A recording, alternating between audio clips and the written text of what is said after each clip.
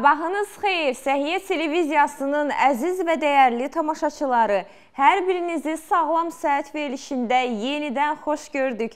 Həftənin son buraxılışı ilə sizin qarşınızdayıq, amma yenə çox maraqlı bir mövzumuz var. Suallarımızı Baku City Hospitalın həkimi Türkan Aliyarova cavablandıracaq. Bugünkü söhbətimizi də qaçırmayın. Sağlam səhəti izləyirsiniz və qonağımız Baku City Hospitalın həkimi qastrentolog Türkan Aliyarovadır. Xoş gəlibsiniz doktor. Və biz həkimimizlə poliplər və endoskopiya haqqında söhbət aparacağıq. Doktor, poliplər haqqında çox eşidirik, amma bəzən onun fərqində ola bilmirik ki, poliplər nə qədər təhlükəli ola bilər ki, bir halda ki, bu bir ət xalıdır. Yəni bir ət xalı nə qədər bir insana zərər verə bilər ki? Öncə poliplər haqqında məlumat verərdiniz. Ümumiyyətlə polip nədir? E, deməli Kön xanım, əslində e, niyə bu mövzunu e, vurğulamaq istədim? E, və çünki dəfələrlə bu mövzuda mən və həmkarlarım çıxış edirlər, Bəli. amma buna rəğmən yenə də e, insanlar məlumatsızdırlar Bəli. e, və hələ də e, insanlar arasında yayılan miflərə inanırlar. O yüzdən e, düşünürəm ki, hələ də maarifləndirməmizə ehtiyac var bu mövzuda insanlarımızın. E, poliplər yəni bir ətxal kimi düşünün ki, insan bədəninin hər hansısa bir tərəfinə ətxal düşür və e, çıxır e, və eləcə də e, həzm sistemi, yəni mədənin bağırsağının içərisinə də, yəni çıxa bilər. E, və e, Bu ətxallar niyə təhlükəli sayılır? Çünki poliplər bədxəstəlik prosesə başlanğıc verə bilər. Yəni bir mədə xərçənginə, bir bağırsaq xərçənginə başlanğıc verə bilər və hətta özü çevrilir, doktor. Bəli, özü çevrilir. Və hətta statistika göstərir ki, bir bağırsaq xərçəngi 95-99% hallarda bir polipdən inkişaf eləyir. Əvvəl balaca bir ətxal olur və sonra o artıq zamanla tədricən yavaş-yavaş bölünmələr, bölünmə prosesləri baş verir və o bir polip həm başla yoğun bağırsaq xərçənginə başlanğıc verə bilir. Və çox təəssüf ilə qeyd etmək istəyirəm ki, o xərçəngə çevrilmə perioduna qədər insanlarda heç bir şikayət olmur. Yəni ta ki o e, polip böyüyüb, böyük ölçüyə çatıb, o dibindən bir qanaxma olmasa e, və yaxud da ki, e, artıq bədxəstəlik prosesi çevrilməsi insanlara heç bir şikayət vermir və adətən biz bunu təsadüfi rutin müayinələr nəticəsində aşkarlıq. Məsəl üçün xəstə ya gəlir qarın ağrısı ilə, ya məsəl üçün başqa bir digər gəlir, məsələn elə insanlar var ki, özlərini rutin yoxlatdırmaq istəyirlər və bu zaman aşkarlayırıq. Və bir də bəzən olur ki, insanlarda uzi müayinəsi istəyirəm edirəm pasientlərimdən ə, e, hər hansı bir şikayətlərinə əsasən təsadüfi müayinə nəticəsində ödündə polip aşkarlayırıq. Və burdan da ə, e, izləyicilərimizə bildirmək istəyirəm ki, ə, e, ödünüzdə polip varsa, mütləq şəkildə mədə və bağırsağın endoskopik müayinəsini keçməlisiniz. Çünki öddə görürüksə, mədə bağırsaqda da görmə ehtimalımız çox yüksəkdir. Çünki artıq demək ki, sizin orqanizmanız buna yatqındır. Doktor, nə qədər vaxt lazım olur? Deyək ki, bağırsaqda polip yarandı. Xərçəngə çevrilməsi ilə arasında təxminən bir neçə il vaxt keçirmi? Ədəbiyyat deyir ki, Könül xanım 5-10 il, ortalama isə 7 il ərzində götürülür ki, bir polipin polipdən xərçəngə çevrilmə müddəti. Yəni 7 il ərzində bir pasiyentin gedib müayinə olunub, bunu vaxtında aşkar etmək kimi bir fürsət var. 7 illik bir vaxtımız Təbii var. Təbii ki. Ona Bəli. görə biz həmişə deyirik ki, bəzən xəstələr gəlir, heç bir şikayəti olmur və hətta dünən də bununla bağlı paylaşım eləmişəm ki, e, sosial şəbəkələrdə, yəni şikayətin olmaması göstərici sayılmır. E, və e, bizim dəfələrlə deməmiz ki, çıxışlarımızda, tək mən yox, mənim digər kolleqalarım da təbii ki, hər dəfə vurğuluruq ki, 45 yaş üzəri hər kəs heç bir şikayət olmasa belə endoskopik müayinədən keçməlidir. Biz bunu niyə deyirik? E, Çünki aparılan araşdırmalar göstərir ki, poliplə və insan polipin insanın yaşı ilə bədxəsəli proses çevrilməsi və yaranması ilə insan yaşı arasında bir düz mütənasiblik əlaqəsi mövcuddur. Yəni 20 yaşında insanda daha azdır bizim polip görmə şansımız, Bəli. amma 40 yaş üzərində isə daha çoxdur polip görmə şansımız. O yüzdən deyirik heç bir şikayət olmasa belə yoxlanın. Çünki yoğun bağırsaq xərçəngi qarşısı alına bilən xərçənglərdəndir. Yəni biz endoskopik müayinə eləyirik, kolonoskopiya müayinəsi, zond müayinəsi deyilir arasında, bağırsağın zontla müayinəsini eləyirik və polip görürüksə, e, biz onu kəsib götürürük. Biz bununla xəstələrimizin həyatını həm xərçəngdən xilas etmiş sayılırıq, həm də qorumuş sayılırıq. Xilas edirik ona görə ki, kəsib götürürük bunu. Həmin polipin xərçəngə keçmə. Yenidən yerində yarana bilərmi? Həmin doktor? yerdə yaranma ehtimalı yoxdur. Çünki biz onun kökünü ə, e, ə, e, xüsusi aparatla yandırırıq. Lorilem lazer deyirlər. Də lazer o damarları bağlayırıq. Polip ə, qanı sevir, ə, qanla qidalanır və qan olan damar olan yerdə daha bağırsağın damarla çox zəngin olan şöbələrində daha çox olur və xərçəngə çevrilmə ehtimalı ona görə ki, çox sürətlə qidalanır və böyümə böyüyür. Amma biz onu kəsib götürdüyümüz zaman biz onu dibindən yandırırıq və damarları bağladığımız üçün damarların ağzına oradan polipin yaranma ehtimalı yoxdur, çünki orada bir çapıq toxuma yaranır. Amma bağırsağın digər şöbələrinə yaranma ehtimalı varmı? Bəli, var. Bəzən pasientlər olur, əməliyyat eləyirik, e, gəlir deyir ki, doktor, siz mənə qarantiya verirsiniz ki, məndə bir də polip yaranmayacaq. Bəli. Yəni belə bir söhbət yoxdur. Mən sadəcə Yenə yarana bilər təbii başqa ki, yerdə. Kəsdiyim yerə hə cavab deyəm ki, hə oradan polip yaranmayacaqdı, amma digər orqanizm anası, yəni digər yerlərdən, digər boşluqlu orqanlardan, tək bağırsağı demirəm. Digər boşluqlu orqanlardan yenidən polip yarana bilərmi? Bəli, yarana bilər. O zaman biz nə qədər vaxtdan bir gedib keçməliyik? Baxın Kön xanım, əgər polipektomi elədiyim xəstələri adətən deyirəm 3 ildən bir endoskopik müayinəyə alıram. Amma məsəl üçün ilkin ili həmişə mən 1 ildən sonra yoxlayıram. Əgər orada bir dəyişiklik yoxsa deyirəm 3 ildən bir.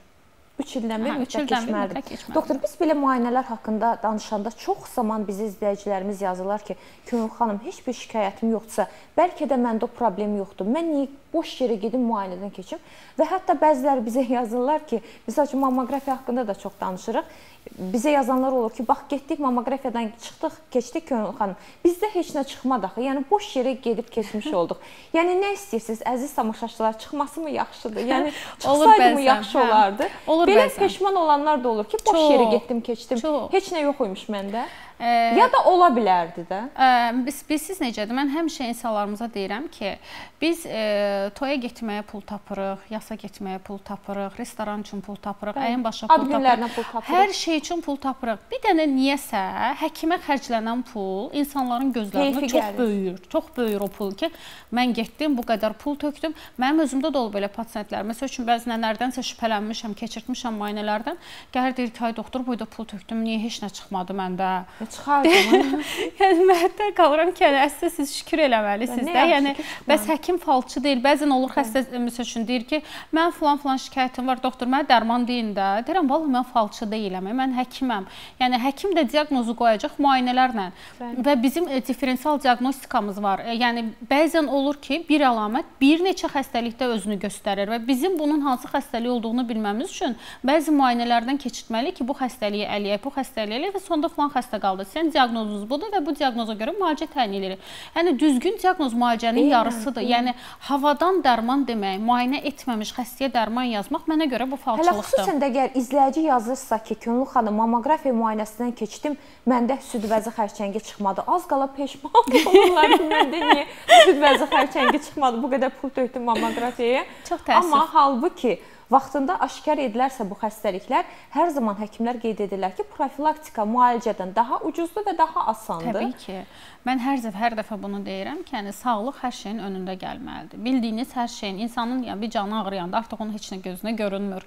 Ona görə də o pul töküb amma sağlam çıxalar deməsi təəssüflənməyin. Yəni şükür, hər şükür etməlisiniz əslində. Bəli. Və bəzən inan az qalıram yazım ki, yəni çıxsam yaxşıdır. Yəni sevinərdinizmi ki, nə yaxşı ki, məndə xərçəng çıxıb yanaşmanı başa düşə bilmirəm. Doktor, bir də endoskopik müayinə haqqında danışaq sizinlə.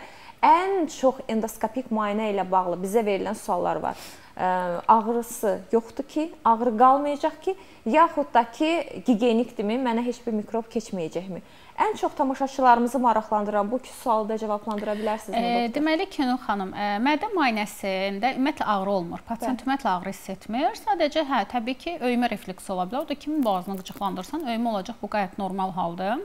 Yəni sedasiyasız belə mədə müayinəsini elədiyin elədiyimiz çox xəstələrimiz var. Çox, siz mən pasientlə adətən müayinədən öncə bir xeyli söhbət eləyirəm, söhbət aparıram və artıq yəni illərdir bu işin içində olduğuma görə, yəni bəzən oturam qabağımda oturan insana mən deyirəm ki, siz özünüz uda bilərsiniz bu zonda, amma yəni bəzi xəstələr var ki, deyirəm ki, siz özünüz uda bilməyəcəksiniz. Artıq insanlarla bir balaca danışandan sonra də mən psixoloqsuzdur. anlaya bilirəm hə ki, hansı insan uda bilər, hansı insan mən sözcə bəzən deyir sedasiyona deyirəm ki, siz uda bilərsiniz də. Yəni ehtiyacımız yoxdur. 3-5 dəqiqəlik bir müayinədir. Yəni səbirli olsaz, mən deyənlərə əməl etsəz çox rahatlıqla udacaq. Çünki heç bir ağrı ağrı ümumiyyətlə orada ağrıdan söhbət gedə bilməz.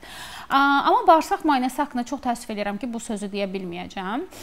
Çünki bağırsaq müayinəsi zamanı biz mədə müayinəsinə də hava veririk, amma bağırsaq müayinəsinə hava verdiyimiz zaman bağırsaqlarda qaz toplanır, bir gərilir. Hə, orada bir yaranır. sinirlər gərildiyi üçün ağrılar ola bilər. Xüsusilə məsəl üçün bəzi bağırsağın əyrilikləri var ki, oradan keçəndə xəstələr daha ciddi şəkildə reaksiya verirlər. Bağırsaq müayinəsinin sedasiyasız olmasının tərəfdarı deyiləm.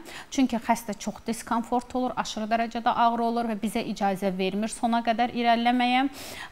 O yüzdən də sedasiyanın olmasının tərəfdarıyam. Çünki bəzən dəfələrlə başıma gəlib ki, məsəl üçün girmişik bağırsağa, aşağıdan qalxır, çox tərtəmiz bağırsaq, heç bir problem yoxdur, amma düz kör bağırsaq, yəni bağırsağın son şöbəsinə, yoğun bağırsağın son şöbəsinə baxmışıq, orada bütöv bağırsaq mənfəzini tutan xərçəng gör görüntüsünü görmüşük. Yəni o yüzdən deyirəm ki, yoğun kolonoskopiya zamanı bağırsaq müayinəsinin, yəni sona qədər gedilməsinin, yəni tərəfdarıyam. Yəni o yüzdən də xəstələrimiz sedasiyası olduğu zaman sona qədər getməyə dözə bilmirlər ağrıdan. Yəni qınamıram, ağrı olur, ağrılı bir müayinədir. Ona görə də yoğun bağırsaq müayinəsi istəyən bütün e, xəstələrimizin, yəni izah eləyirəm ki, sedasiya şərtdir. Çünki bəlkə də ömrünüzdə elə bircə dəfə girəcəksiniz, qoyun tam şəkildə müayinə eləyim ki, mən də arxayın olum. Bir də bəzən belə yazanlar olur ki, Könül xanım, mən onsuz da əsəb adamam. Gedib bir dəfə də narkoz alacağam, əsəblərim tamam pozulacaq. Buna da aydınlıq gətirərdiniz doktor. Bu ə, e, narkoz əsəbləri korlayır falan. Amma təbii ki, mifdir. Narkozu qusmaq lazımdır. Bunlar hamısı mifdir. Yəni anesteziya olğunuz doğru. Və bu ə, e, belə deyək də, narkoz heç də əməliyyatdakı narkoz deyil. Təbii doktor. ki. Ə, və anesteziya olğunuz normalsa nə narkoz qaytaracaqsınız, nə əsəbləriniz korlanacaq. Yəni çünki hər kəsin öz çəkisinə, bədən çəkisinə uyğun təyin olunur o dərmanlar. Ə, təbii ki, bu anestezioloqların işidir, girmək istəmirəm, amma bizim ə, müayinədə vurduğumuz dərman, ə, yəni bu ə, seda analjezik bir maddədir. Yəni bildiyiniz o narkozlardan deyil. Bəzən isə hətta kolonoskopiya müayinəsi sırasında xəstəyə sadəcə yüngül yuxu veririk. Bəzən isə xəstələr hətta bəzən danışırlar, suallarımıza cavab verirlər, amma ayılandan sonra o heç bir şey yadlarında qalmır. Sadəcə xəstənin rahat, komfort şəraitində bu müayinədən keçməsini təmin edirik. Çünki bəzən olur ki, Könül xanım elə bir proses baş verir ki, elə bir problemi olur ki, xəstənin biz bəlli aralıqdan sonra xəstəni çağırırıq kontrol endoskopiyaya endoskopik müayinəyə. Biz narkozsuz elədiyimiz zaman o xəstədə müəyyən qədər bir fobiya qalır və artıq kontrol müayinəyə getmir. İstəmir. Hə, doktor öldüm, ölümdən qayıtdım, belə oldu, elə oldu və kontrol müayinəyə gəlmir və biz də müalicəmizin nəticəsini, dinamikasını izləməmiz üçün bəzi hallarda yəni kontrol endoskop etməmiz çox vacib olur bizim üçün. Doktor, endoskopiya belə zülmdür, öldüm, öldüm, ölümdən qayıtdım deyirlər də, bunu da təbliğ edirlər ətraflarına. Məsəl üçün bir dəfə bu müayinədən sedasiyasız keçmiş adam, o ağrılar ağrıları yaşamış adamdan soruşanda ki, necə idi müayinə? Təbii ki, nə deyəcək? Yaşadığını deyəcək ki, dəhşətli, heç kəsə məsləhət görmürəm Təbii deyəcək. Ki. Və bunlar da belə yayılır, yayılır, yayılır, danışılır.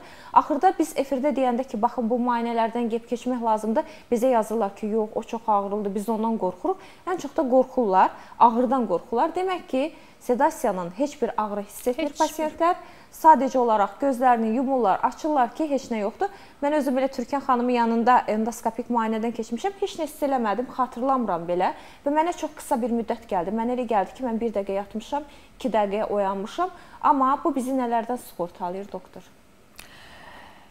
Ən azından, yəni ən birinci deyəcəm Bəli. ki, e, kolonoskopik müayinə yoğun bağırsaq xərçənginin profilaktikasıdır və qızıl standart sayılır. Çünki giririk bağırsağın içərisinə, görürük.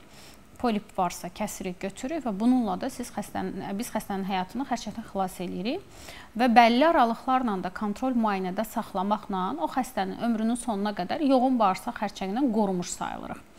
Mədədən belə erkən mərhələdə aşkarlanan mədə xərçənginin belə müalicəsi var. Yəni və mənim e, hardasa 5-6 pasiyentim var. Bu erkən mərhələdə aşkarlanmışıq mədə xərçənginin. E, heç bir yerə yayılma yoxdur, metastaz yoxdur. Xəstə əməliyyat olunub doğru düzgün bir onkoloq cərrah tərəfindən, onkoloq tərəfindən izlənilir və xəstəmiz hal-hazırda, yəni xəstələrimiz illərdir ki, yaşayırlar, heç bir şikayət, heç bir problem olmadan bəlli araqlarla kontrollarda qalır. Yəni erkən mərhələdə ə, bu müayinələr sayəsində xəstələrimizi ya xərçəkdən xilas edirik, ya ən azından erkən mərhələdə aşkarlayırıq ki, bu xəstə həyatını yəni normal şəkildə davam edir. Yəni e, adətən biz danışırıq ki, e, xərçəng xəstəliyi əsrin bəlasıdır, bəşəriyyətin bəlasıdır. Heç kəs bundan sığortalamayıb, hər kəsin başına gələ bilər.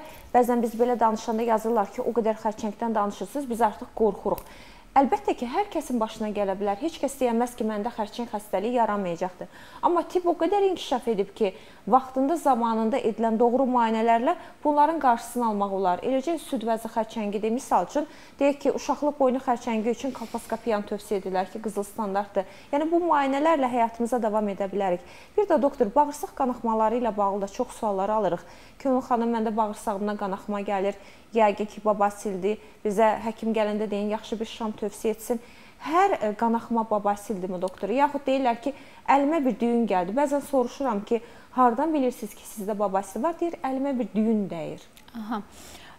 Bu, yəni mənim ən sevmədiyim bir mövzudur və insanların yəni çox az bilgili olduğu bir mövzudur. Çünki insanlar heç kim özünə təbii ki, heç kimi də qınamıram əslində. Çünki heç kim özünə yəni pis xəstəliyi yaxın buraxmaq istəmir. Yəni düşünmür nəsə ola bilər. Və ona görə də qanaxma olan kim ya bağırsaq çatından və yaxud da ki, babasil olduğunu düşünürlər. Təbii ki, ola bilər. Xəstəm olub ki, hə, bağırsaq qanaxması ilə gəlib, e, mənim babasilim var deyə. Tamam, biz müayinə eləmişik, xəstə babasil var və babasildən də qan gəlir. Amma xəstədə içəridə irəli mərhələli artıq yəni yayılmış bir xərçəng də görmüşük, törəmə də görmüşük, amma xəstə illərdir. Babasillə müalicə alır. Ola bilər ki, babasiliniz var, amma içəridə baş verən prosesdən xəbəriniz yoxdur. Axı və mən hər zaman deyirəm ki, qan gəlməsi siqnal əlamətdir. Bir mənalı şəkildə, yəni 1-2 dəfə qan gəlməsi varsa, mütləq bir mütəxəssisə müraciət eləyin. Çünki içəridə hansı proses getdiyindən xəbərimiz yoxdur. Bəzən görürsüz ki, məsəl üçün bir 2-3 gün öncə bir xəstə müraciət eləmişdi. Yenə doktor bəzi hallarda böyük bayıra getdiyim zaman ara, ara sıra yəni nəcisin üzərində qan görürəm, qan izləri görürəm. Hətta belə deyir pasient. E, təbii ki, endoskopik müayinəyə aldım, kolonoskopik müayinə. Yəni qan gəlmə varsa, yəni mənim üçün yəni endoskopik müayinə şərtdir və xəstədə çox böyük ölçüdə kökündən, yəni qanama başlamış bir bağırsaq polipi var idi. Hansı ki, adenomatoz bir polip idi. Biz onu götürdük, əkilməyə verdik. Adenomatoz polipdir. Yəni adenomatoz poliplərin də xərçəngə başlanğıc vermə ehtimalı çox yüksəkdir, hədsiz çox yüksəkdir. Yəni biz o polipi oradan kəsib götürməklə, yəni o xəstənin həyatını xərçəngdən xilas etmiş sayıldıq və qan itirmə belə 60-80 milli qan itirmə kifayətdir ki, xəstənin qan dəyərlərində və orqanizmamızda öz təsirini göstərsin. Yəni halsızlıqdır, yorğunluqdur, baş ağrısıdır, yuxulluqdur, bu kimi problemlərlə özünü büruzə verə bilər. Yəni bəzən o qanı az-az qan görüb görürük, amma əhəmiyyət vermirik ki, keçər, keçər deyə. Amma az-az itirdiyiniz qanı, yəni gündəlik miqdarından xəbəriniz olmadığına görə sizin nə qədər təsir göstərəcəyini bilmirsiniz. Və o yüzdən də yəni hər qanama babasil deyil, hər qanama bağırsaq çatı deyil. Yəni dediyim kimi bizə müraciət edən xəstədə hə, qanayan bağırsaq polipi var idi və biz onu kəsdik, götürdük və adenomatoz polip olduğunu aşkarladıq. Xəstəyə dedik ki, yəni həmişdirəm ki, verilməli olduğunuz biz nəz nəzriniz var imiş də yəni. Bəli. Bir xanım izləyicimiz bizə yazmışdı. Adını açıqlamayacağam, özünə də söz vermişəm. Xanım bizə yazmışdı ki, məndə uşaq dünyaya gələndən sonra babasil yaranıbdı doktor. Qaynanam icazə vermir həkimə getməyə ki, kimdə yoxdur ki bu? Yəni hansı gəlində yoxdur ki, sən gedirsən özünü müalicə elətdirirsən? Buna da aydınlıq gətirərdiniz doktor. Bəziləri bunu az qala bir alın yazısı kimi qəbul edir ki, bütün qadınlarda var da, yəni bu həkimə apar aparacaq səbəbdirmi? Babasil varsa nə üçün müalicə olunmalıdır doktor? Çünki babasil düyünləri get-gedə böyüyəcək, iriləşəcək. Tromblaşmış babasil düyünləri olduğu zaman xəstə çox şiddətli ağrılar verir, hədsiz dərəcədə. Və yəni kifayət qədər xəstə qan itirir oradan. Hər dəfə bayıra getdiyi zaman qan gəlir. Bəzən xəstələr olur ki, heç bayıra getmədiyi zaman da yəni qan gəlir. Yəni babasil qanla dolmuş damarlardır, böyümüş damarlardır. Necə qadınlarda bəzən görə ayaqlarda varikoz damarlar olur. Bu da düz bağırsağın varikozu sayılır. Yəni damqanla dolmuş iri-iri damarlardır. Yəni hər an oradan partlama ola bilər, qanaxma ola bilər, yəni çox ciddi şəkildə qanamalar ola bilər və erkən mərhələdə aşkarladığımız babasillərin də müəyyən dərmanlarla, şamlarla, mazlarda, yəni bərpa edə bilirik, yəni geriyə sorula bilir. Amma artıq irəli mərhələdə 2, 2-ci, 3, 3-cü mərhələyə keçən, 3-cü dərəcəyə keçən babasillərdə artıq yəni cərrahi əməliyyat şərtdir, mütləqdir. Yəni bunun dərmanla heç bir müalicəsi yoxdur və e, irəli mərhələdə olan babasillər olur ki, bəzən xəstənin bağırsaq müayinəsi zamanı görürsüz sanki belə bağırsaq anal dəlikdən çölə çıxmış gül kələmi formasında iri əl vurmaq mümkün deyil. Yəni o hala çatdırdığımız zaman təbii ki, cərrahın da işi çətinləşəcək və xəstənin əməliyyatdan sonrakı reabilitasiya dönəmi də çətin keçəcək. Çünki hə, anal dəlik sinir e, hüceyrələrlə çox zəngindir və çox ciddi e, reseptorlar vardır və çox ciddi ağrılar ola bilər. Yəni bu duruma salmamaq üçün, yəni işinizi çətinləşdirməmək üçün təbii ki, ilkin mərhələdə müayinə eləyib, yəni dərma müalicəliksə müalicə olunur, müalicəlik deyilsə, yəni cərrah əməliyyat eləsin. Erkən mərhələdə cərrahda cərrah üçün də rahatdır, pasient üçün də rahatdır. Niyə görə? Çünki reabilitasiyası daha rahat, daha asan keçir və qısa və müddətdə olur. bəzən o adamlar ki, həkim müayinəsinə getmədən özü özünə təyin edir ki, məndə babasili var. Bizə yazırlar ki, Könül xanım aptekdə qalmayıb babasil şamı ki, mən istifadə etməyim də hər yerdən istifadə etmişəm, Türkiyədən gətirmişəm, Rusiyadan gətirmişəm, faydası yoxdur. Sual verir, verirəm ki, əminsinizmi bu babasildir? Ola bilərmi ki, doktor, bu izləyicilərin dediyi kimi aptekdə bütün şamları istifadə edirlər, amma heç babasil deyil, məsəl üçün bağırsaq çatıdır. Təbii ki. Bənzəyirmi əlamətləri doktor? E, qan gəlməsi, hə, bağırsaq çatına da qan gəlməsi ola bilər, babasildə də qan gəlməsi ola bilər, amma bağırsaq çatında ə, əsasən xəstələrdə necə şikayət olur? Xəstə deyir ki, doktor, böyük bayıra getdiyim zaman sanki şüşə kəsməsi hiss hissiyatı olur. Bağırsağımda sanki bir şüşə kəsir.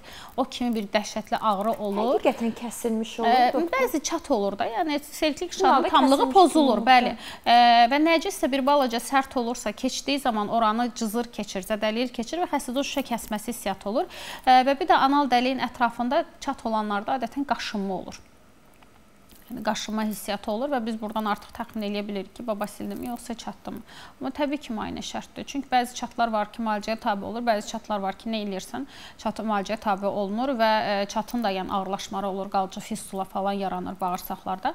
E, yəni bunun da əməliyyatı daha ağırdır, fistula çətindir. Yəni cərrahlar daha yaxşı bilər. Yəni bunun bu hala düşməməsi üçün də müayinə olunub, yəni ilkin başlanğıcda müalicə eləyirik, effekt alırıq, amma irəli mərhələdə olan çatlarda çox dərinləşmiş çatlar hallarda artıq müalicənin heç bir effekti yoxdur və mən xəstəni cərraha göndərirəm. Çünki bəzən yazırlar ki, mənim ilk uşağımdan e, yaranıbdı bu problem. İlk uşağında 25 yaşı var. Demək ki, adam 25 ildir bunun əziyyətini çəkir. Çox qorxurlar həkimə getməyə, yox həkimə getmək istəmirik e, özümüz bir şan tək e, qorxmaq deyil, bəli. sadəcə bizim yəqin ki mentalitetimizə bağlıdır ki, insanlar utanırlar həm də. Yəni bəzən pasiyent gəlir, oturur yanımda, şikayətini soruşuram deyə bilmir. Və 100 dəfə üzr istəyir. Məsələn ki, ay doktor, mən də falan falan deyirəm ki, yəni bu həkiməm də, yəni mən bu işə baxıram, üzr istəmənizə gərək yoxdur. Zaten buna görə yanıma gəlmisiniz. Yəni burada utanmalı, üzr istəməli heç bir situasiya yoxdur. Bu sağ, sağlamlıq problemidir. Hamımızın başına gələ bilər və heç kim heç nədən sığortalanmayıb. Çox rahat şəkildə həkimə müraciət edin və dərdinizi deyin. Yəni biz e, yəni xəstəni dinləməsək, xəstənin şikayətləri şikayətlərini bilməsək, bizim işimiz də çətin olar. Yəni o yüzden rahat şəkildə utanmadan, heç bir problem olmadan həkimimizə şikayətlərinizi söyləyin ki, biz də sizə kömək eləyə bilək. Doktor, həm cavan, həm gözəlsiz, hər halda ona görə tanıyırlar sizdə. Göz siz gözəl görürsüz deyə çox, çox gözəl doktorsunuz. Və bəzən ə, e, özünüzdə də deyirəm ki, model aləmi bəlkə də çox istedadlı bir modellikdir. Həkim olursunuz. O sözü həmişə mənə deyirsiniz, həmişə deyirəm ki, biz Könül xan belədir. Hər zaman da belə gözəl qalmağınızı arzu edirik sizinlə və izləyicilərimiz bizə yazırlar ki, Könül xanım bizi elə həkimə yönəldin ki, nə əməliyyat etməsin, nə çox get-gələ salmasın, bizə az dərman yazsın. Hər zaman da cavabım bu olur ki, bu sizin özünüzdən asılıdır. Həkimə nə vaxt getməyinizdən asılıdır. Təbii ki. Heç bir həkim istəməz ki, pasiyent getsin, gəlsin, ona daha çox dərman yazsın. Zamanında ilk şikayətinizi gördüyünüz anda özünüz özünüzə diaqnoz qoymasaz, həkim diaqnoz qoysa, o zaman müalicənizdə daha qısa və effektiv olar. Təkrar təşəkkür edirəm. Çox sağ olun. Əziz tamaşaçılar, efirimiz isə davam edir. Əziz tamaşaçılar, beləcə bir həftənin də sonuna gəlib çatdıq. Şənbə bazar istirahət edirsiniz. Birinci gündən yenidən sağlam səhət verilişini izləməyə davam edirsiniz. Sağ olun, sağlıqla qalın. You.